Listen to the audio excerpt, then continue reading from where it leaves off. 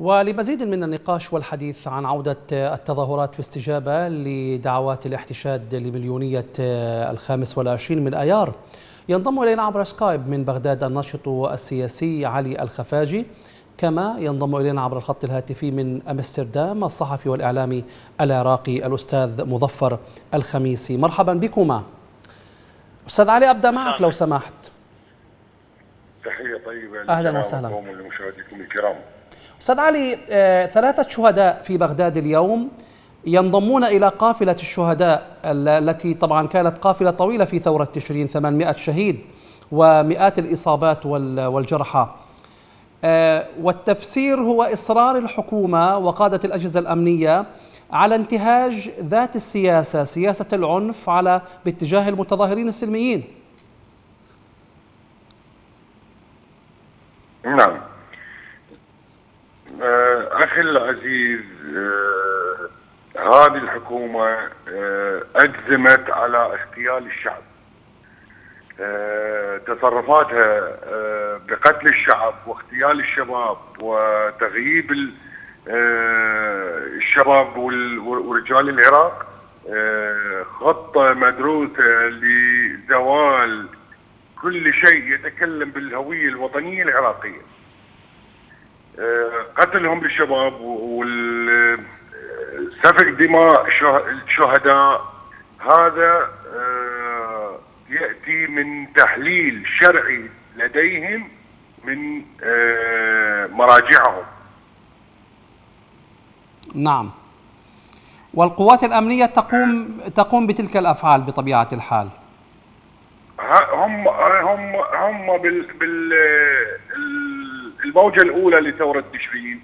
احتموا خلف ستار الطرف الثالث. ولكن الآن الآن لا المسؤول على اغتيال الشباب آه عبد الأمير الشمري وسامر الحسيني أبو تراب. هؤلاء من ضمن هيكلية ما تسمى بالدولة. ما هي مواقعهم؟ ما هي مواقعهم؟ هل يعملون في الأجهزة الأمنية أم في أي مواقع بالضبط؟ نعم بالأجهزة الأمنية جميل آه، عبد الأمير الشمري آه، شقيق المجرم جميل الشمري ونائب العمليات المشتركة. وثامر الحسيني أبو تراب آه، قائد التدخل السريع نعم. من الهيكلية البدرية آه، القاتلة يعني تعتقدون أن هؤلاء هم الذين يصدرون الأوامر بإطلاق النار على المتظاهرين والرمي باتجاههم؟ لا سيدي عزيز هذه ليس اعتقاد وإنما معلومة دقيقة. نعم. تمام. طيب دعني أنتقل بهذه المعلومات إلى الأستاذ مظفر الخميسي. أستاذ مظفر منذ مطلع تشرين 2019 حتى هذا اليوم الخامس والعشرين من أيار 2021 وهذا المشهد يتكرر. شعب غاضب لديه مطالب كثيرة خدمية وسياسية. وفي المقابل الحكومة آه، تتغافل عن هذه المطالب. بل تقوم بهجمة مضادة ضد المتظاهرين. تتمثل في استخدام الرصاص الحي وقنابل الغاز واستخدام العنف المفرط آه، في في استجابة للأسف الشديد واضح من أنها سلبية من هذه الحكومة والميليشيات التي تقف خلفها، كيف يمكن وصف هذا المشهد المتجدد طيلة عامين تقريبا. تحية طيبة. يعني بصراحة أن إصرار الحكومة والقوات الأمنية على استخدام العنف ضد الشباب العزل آه، هو يعني أصح تفسير لمقولة من أمن العقاب أساء الأدب حيث أن إفلاك المتورطين بدماء 900 شهيد من العقاب والمساءلة ومحاولة تمييع أسماء أسماء القتلة شجع هذه الحكومة ومن يعمل تحت أمرتها من من قوات الامن من القوات الأمنية على الوغول بالدم العراقي وعدم الخوف من نتائج قتل الشباب بهذا الدم البارد. هم أمنوا العقاب فيعني آه، أوغلوا بالدم. آه، وراح يعني باعتقادي باعتقادي أنهم سي سي سيقمعون الشعب أكثر وأكثر لأنهم لا حسيب ولا رقيب على هذا على هذا الفعل. نعم. السؤال أستاذ مظفر كثيرا ما تحدث مثل هذه المظاهرات في كثير من بلدان العالم. لماذا لا يستخدمون بعض الأسلحة غير القاتلة إنجاز التعبير؟ يعني الرصاص المغطى المغلف بالمطاط على سبيل المثال. القنابل طبعا بطبيعة الحال الغازية والدخانية يستخدمونها والمياه العادمة وما إلى لماذا يستخدمون الرصاص الحي؟ وكما قال أحد شهود العيان من بغداد في نشرة سابقة هناك تعمد في الإصابة والقتل وتستهدف تلك القناصة الإصابات في الرأس على سبيل المثال وفي الرقبة وفي الصدر. إذا هناك حالة تعمد للقتل. نعم صحيح. هم يراهنون على وقت المظاهرات. هم باعتقادهم أن أن مظاهرات تشرين استطاعوا قتلها واستطاعوا إرجاع الناس إلى بيوتهم وكل شيء انتهى. بدس المخربين وزرع الفتنة والقسوة مع مع شباب ثورة تشرين. هم باعتقادهم ان إن إن الثورة انتهت. لكن نسوا إن الثورة فكرة والفكرة لا تموت بل تتجدد وتتوالد وتنمو. نعم. والدليل على ذلك أستاذ علي أن هذه موجة جديدة من موجات الثورة. يعني منذ مطلع تشرين 2019 حتى اليوم كنا أمام العديد من الموجات المتتالية. ماذا تعني هذه الموجة وفي هذا التوقيت بالذات سياسيا وإعلاميا؟ ومن الناحية الميدانية أيضا يعني يبدو أن الشباب والمتظاهرين والثوار لم يتعبوا ولم يكلوا من المطالبة بالحقوق ولكن في كل مرة تزداد المطالبات للأسف. في هذه المرة مثلا هناك مطالبة بمحاكمة قتلة المتظاهرين فتخرج الأجهزة الأمنية لقتل المتظاهرين مع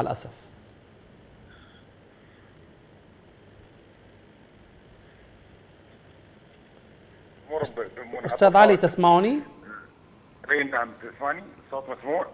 تفضل نعم نعم جميع الثورات تمر بمنعطفات تصحيحية وتغييرية. أه ثورة تشرين لم أه تهدأ من يومها الأول إلى يومنا هذا. جميع الثوار أه كانوا ينتظرون الوقت المناسب لانطلاقه تظاهراتهم. ولكن ولكن ما حصل اليوم ما حصل اليوم. آه ليس مجرد فقط آه محاسبة قتلة المتظاهرين وإنما رفع, شعار الشعب يريد إسقاط النظام. هذا النظام الميليشياوي القاتل يجب أن يسقط اليوم قبل غد. وشفتوا بعينكم وجواب وشفتوا ردة الفعل من القوات الميليشياوية بقتل الشعب. هذا أمر لديهم بقتل الشعب باغتيال الشباب باغتيال باغتيال الشعب الوطني. نعم. أه ثورتنا ثورتنا ما راح تهدى راح تتحفز. وجميع جميع الحلول مفتوحة بمواجهة هؤلاء القتله كان واضحا أستاذ علي الخفاجي من بغداد هذه الاستجابة الكبيرة من المتظاهرين. والنزول اليوم في التظاهرات على الرغم إنه المتظاهرين يعني شبه متأكدين من أن القوات الأمنية ستستخدم العنف والرصاص الحي باتجاههم ما الرسالة التي أرادها الثوار بالنزول بهذه الكثافة وفي أكثر من محافظة ومنطقة؟ صدقني سيدي جميع الثوار كانوا ينتظرون. موعد انطلاقة المظاهرة كأنه عرس لهم يعني الشباب كانوا متحفزين ومنتظرين على نار على على ساعة الصفر وإلى وإلى ساعتنا هذه ولحظتنا هذه جميع الثوار على هبة الاستعداد للنزول للشارع. نعم. أنت عندما تقول سيد علي بأنه الشباب مستعدون وكذا من الواضح أن الشباب هو الذي يبادر ويتصدر هذه التظاهرات وهذه الثورة وفي ذلك دلالات عظيمة جدا أليس كذلك؟ شبابنا ولله الحمد وصل لمرحلة من الرقي والثقافة المجتمعية حسب اعتقادي الشعوب تحسدنا على هيك شباب شبابنا واعي شبابنا صاحب حق شبابنا إلى نظرة للمستقبل وإلى نظرة بنفس الوقت للموت كأنه حياة.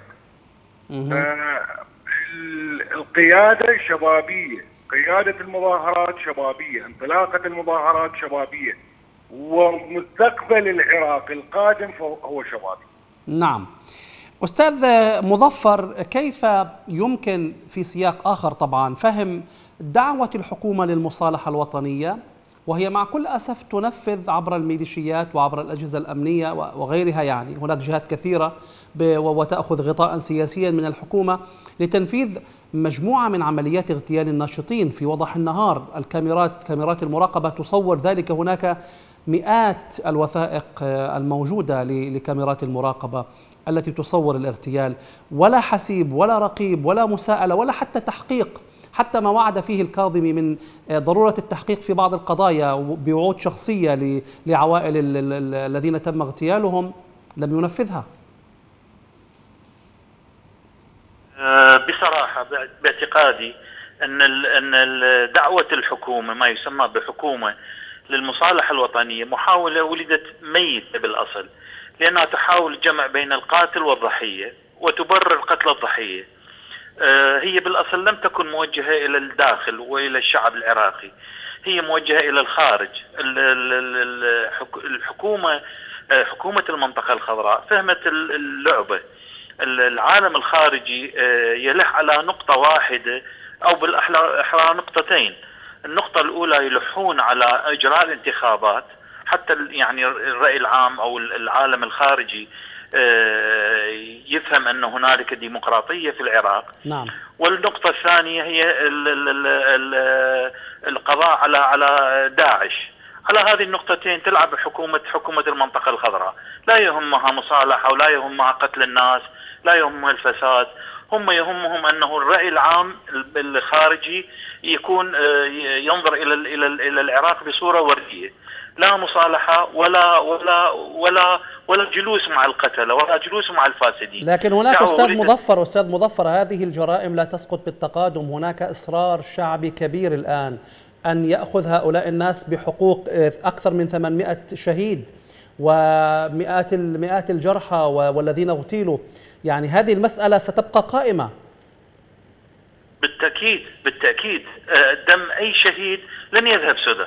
آه، أقرب مثل لنا ويعني كلنا كلنا شفناه على شاشات التلفاز آه، دماء الشهداء بإخواننا السودانيين. المتظاهرين مصرين على على على محاكمة القتله على محاكمة المجرمين وأسقطوا أسقطوا النظام بكامله. آه، القمع اللي يحصل الآن لشبابنا والمحاولات إسكاتهم وإرهابهم بالميليشيات وبالعصابات وبالقتل وبالترهيب ما راح تنجح بطمس طمس الجريمة. جريمة قتل مجرد مجرد مظاهرات قتلوا بها 800 شاب أعزل ناهيك عن عن عن باقي عن باقي الشباب وباقي القتلى وباقي الشهداء. نعم. كل هذه سيحاسبون عليها.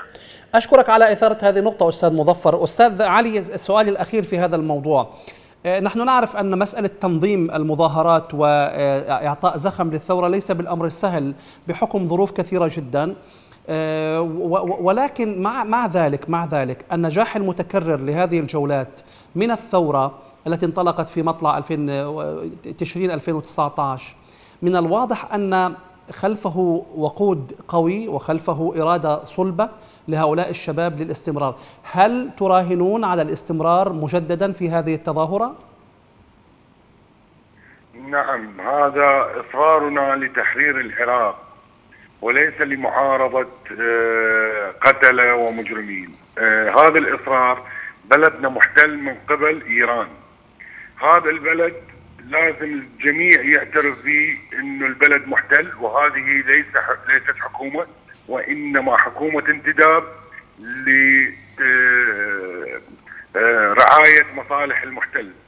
آه، وعلى لا لا لا نريد أن نعول على المجتمع الدولي لأنه المجتمع الدولي هو اللي دخلنا بهذا المأزق. نعم. وإنما نعول على الجامعة العربية الجامعة العربية.